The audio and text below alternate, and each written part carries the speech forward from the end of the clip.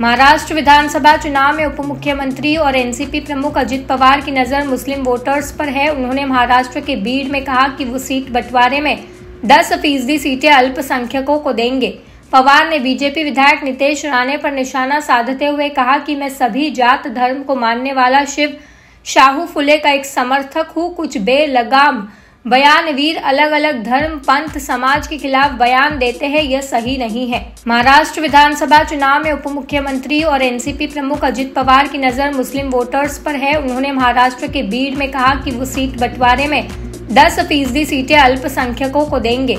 पवार ने बीजेपी विधायक नितेश राणे पर निशाना साधते हुए कहा कि मैं सभी जात धर्म को मानने वाला शिव शाहू फुले का एक समर्थक हूँ। कुछ बेलगाम बयानवीर अलग अलग धर्म, पंथ, समाज के खिलाफ बयान देते हैं, यह सही नहीं है।